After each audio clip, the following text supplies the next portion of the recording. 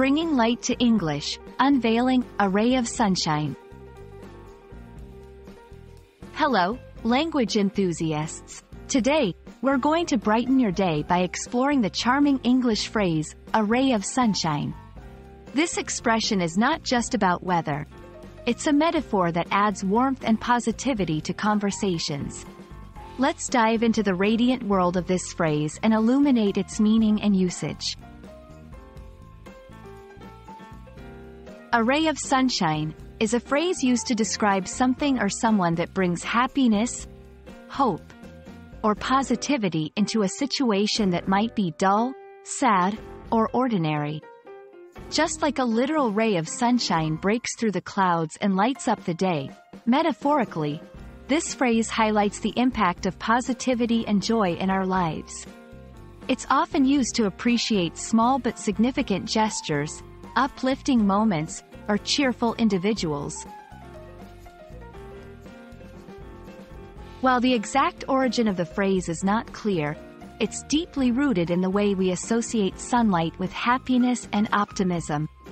Throughout literature and everyday language, sunshine is a universal symbol of warmth, growth, and positivity. In English, calling someone a ray of sunshine is a heartfelt compliment. It's not just about their cheerful disposition. It's about the effect they have on others, lighting up the room and making everything seem a bit brighter. Let's see how a ray of sunshine is used in sentences. 1. After a tough week, her smile was a ray of sunshine. 2.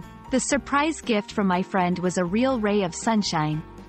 3. Despite the challenges, his positive attitude remained a ray of sunshine. Notice how the phrase is versatile, fitting into various contexts to express positivity and joy.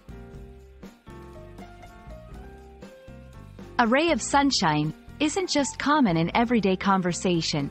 It's also found in pop culture and literature. Authors and songwriters often use this phrase to describe characters or moments that stand out due to their positive influence or joyous nature. It's a universally understood metaphor that resonates across different cultures and languages, often used to highlight the best parts of human nature and life's happy surprises. In our journey through the phrase, a ray of sunshine, we've discovered its meaning, origins, and how it's used to spread positivity and warmth. Remember, language is not just about words, it's about the ideas and emotions they convey. By using phrases like, a ray of sunshine, you can brighten someone's day or articulate the joy in yours. Keep shining your light through your words, and may your learning journey be filled with many more rays of sunshine. See you in the next video.